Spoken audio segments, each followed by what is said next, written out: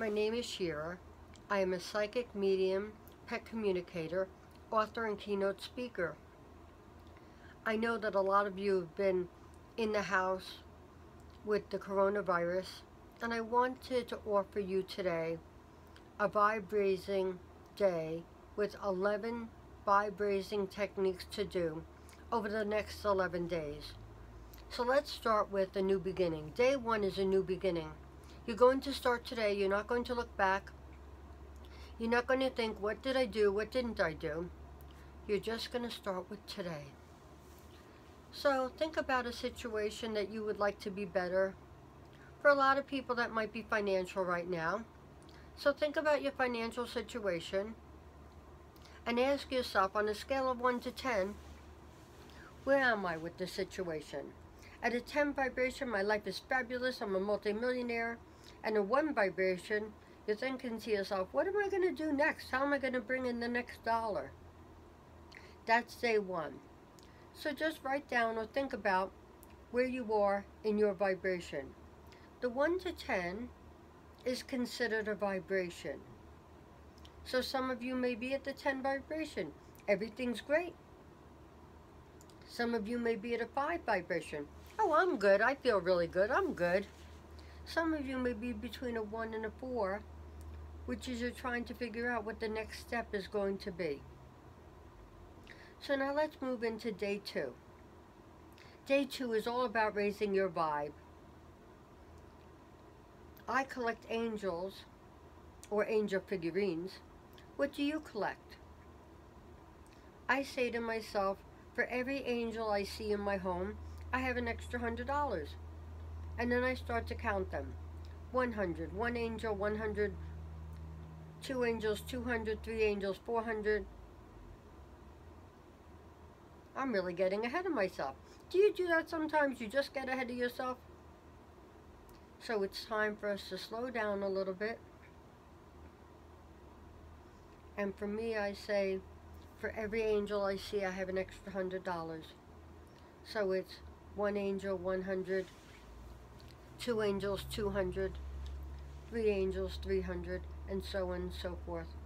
I have 30 angels in my house, so by the time I'm done in the living room, I've already counted $3,000.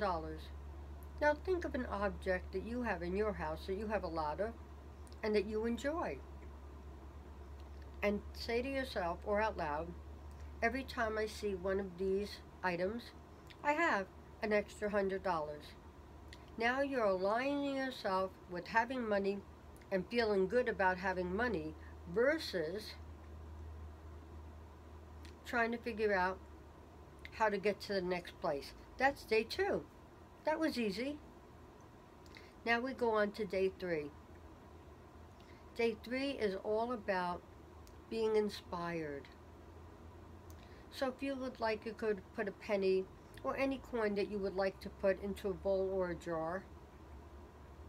And when you look at this penny or you look at this coin, you're going to say to yourself, putting this penny in the jar was very easy, and being inspired is just as easy as putting this coin into this bowl or jar. That's day three. You're done. So easy. It's supposed to be easy. If it's difficult, don't do it. Not worth it. Now we're moving on to day five. And again, did you see how I got ahead of myself? Are you still doing that? We go on to day four. You caught me. Day four is all about asking for what you want. Are you asking for what you want or are you hoping against all hopes that you will make it through whatever your situation is and come out at a better side? Today, start to ask for what you want. Ask for what you want based on what would make your life easier. Do not base what you want on what you don't have. For example, I have a Chevrolet, but I'd like a BMW. Instead, just ask for the BMW. So much easier. If you'd like to have a new couch or a new sofa, ask for the new sofa instead of replacing the old one. Sometimes you don't get what you want because you didn't ask. Start to ask. Some of you have things in your life that you may feel are difficult right now. And write all those things down. And then on the right side of that, or in another column, write down what would make your life easier. And ask for those things.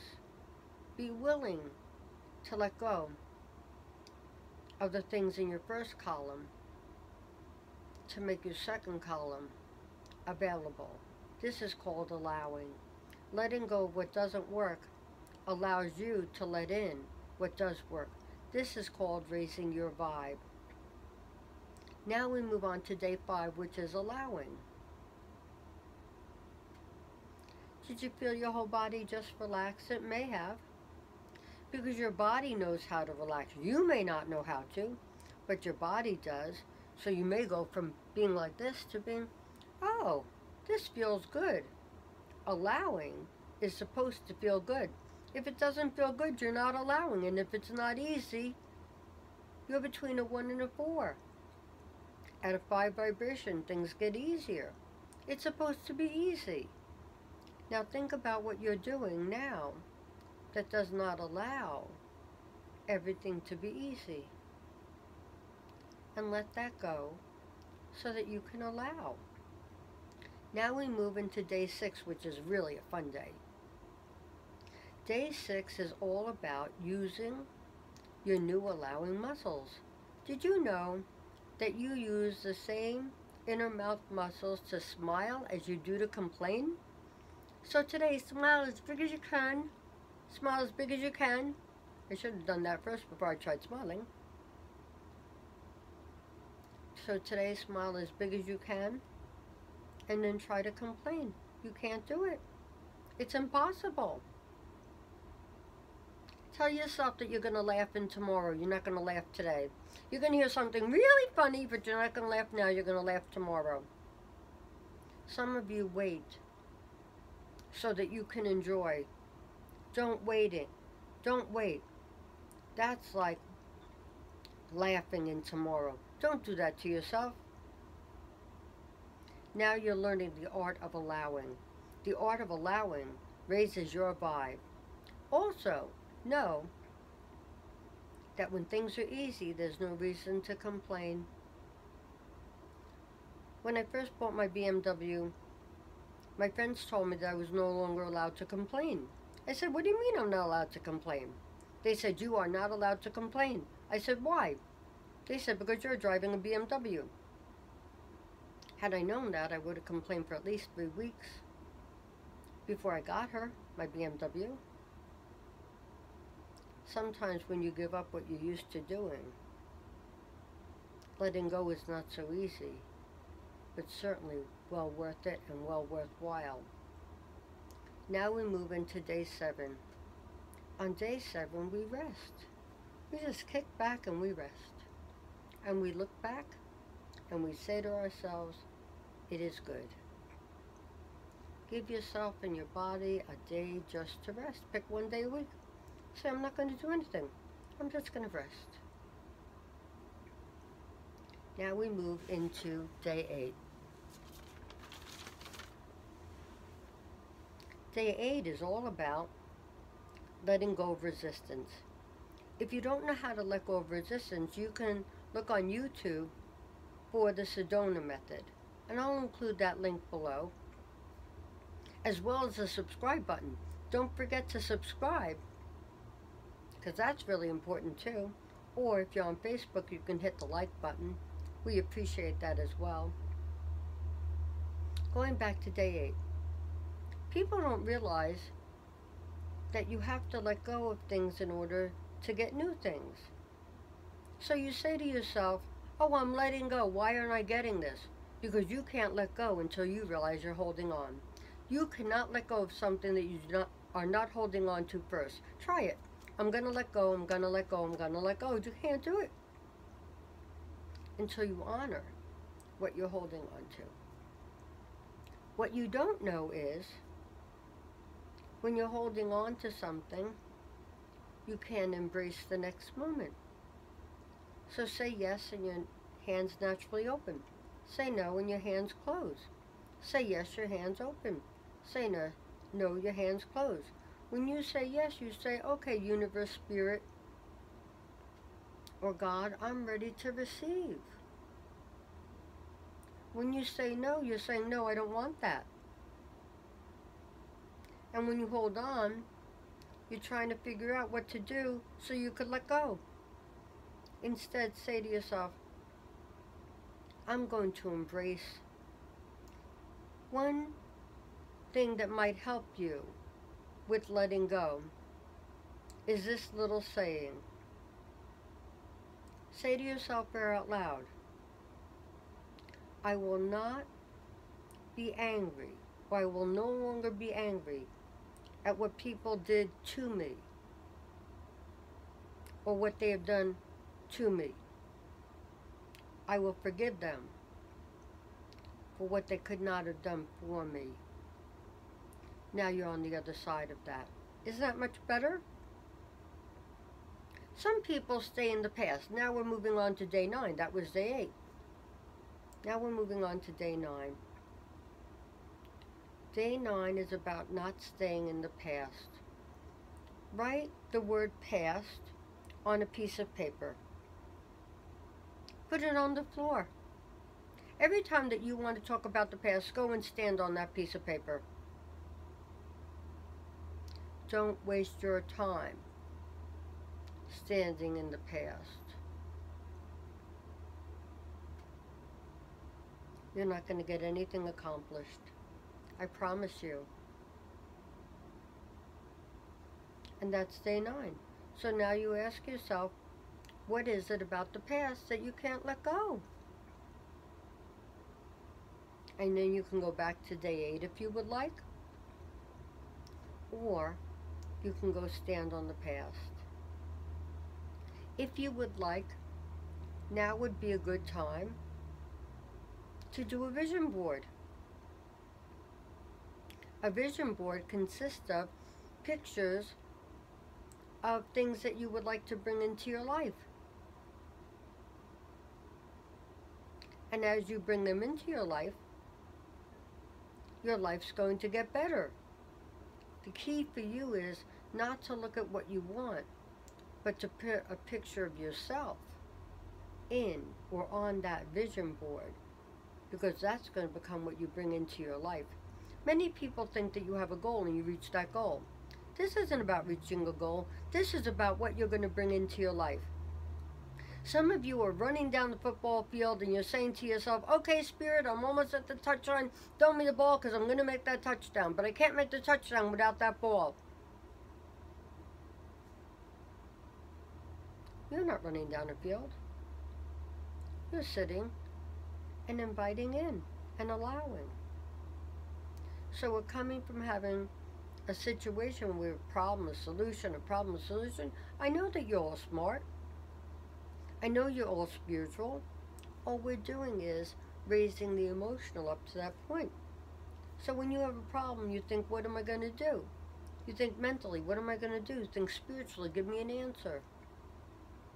When you're eating your favorite food, when you're eating your favorite food or ice cream, you don't think about a solution and a problem or a problem and solution. You just enjoy. So the more you enjoy, the more you allow in. Now you're sailing. Did you feel the difference? Now we can move on to day 10. Didn't it go fast? Day 10 is about choices. You can't have choices and respond while you're reacting. And you can't react unless there's something to react to. So if there's a situation that you're in that you don't like, you're always reacting to it. Now make a different choice. You can make a hashtag or tic-tac-toe board or the pound sign and picture a check in every one of those squares. That's your life. If you're always reacting to something that you don't like, you're not going to be able to allow in in a nice way. Now think of another tic-tac-toe board or think of another hashtag and just put one check in that square.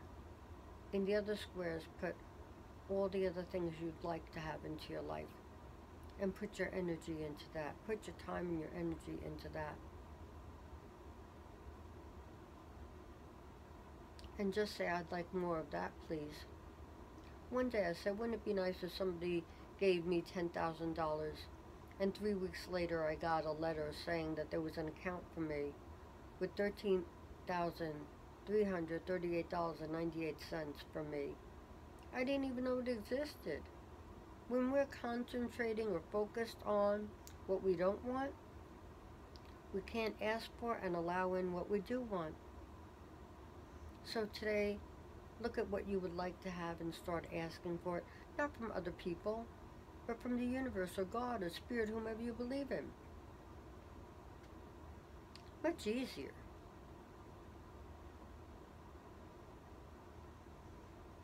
I also want to um, share this with you, which will make it easier for you to respond versus react. People get what they need say thank you. People who don't get what they need point out what's wrong. Today, when you get angry, ask yourself, what did you need that you did not ask for? That's another way of using your allowing muscles and the last one is day 11. Day 11 is you can't stand in the past and you can't stand in the future while being in today. Don't look back or be in the past with regrets. Forgive those who could not do for you. Don't live in the future. Enjoy today and ask for more so that your next today will be wonderful. I hope you enjoyed these 11 techniques and I'll hope that you'll use them as well in the following 11 days. And picture where you want to be in the next 90 days.